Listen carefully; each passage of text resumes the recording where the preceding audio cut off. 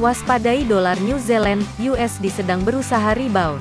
Bias harian pergerakan dolar New Zealand USD terlihat berada dalam kondisi bullish dan jika diperhatikan harga sedang melakukan fase konsolidasi dari sekitar area kritis.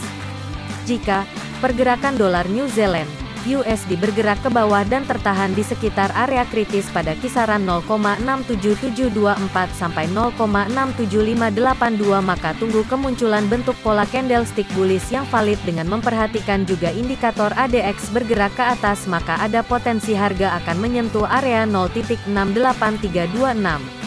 Sebaliknya waspadai jika harga dolar New Zealand, USD terus bergerak ke bawah dan menembus level 0.67582 maka ada potensi harga akan berbalik arah dengan bergerak bearish ke bawah menuju level berikutnya pada kisaran 0.67352.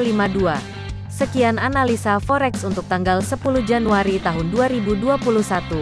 Untuk konsultasi gratis mengenai posisi trading forex Anda, silakan hubungi 081 dua satu dua sembilan delapan tiga satu kosong satu sekali lagi kosong delapan satu dua satu dua sembilan delapan tiga satu kosong satu kami dengan senang hati bincang dengan Anda.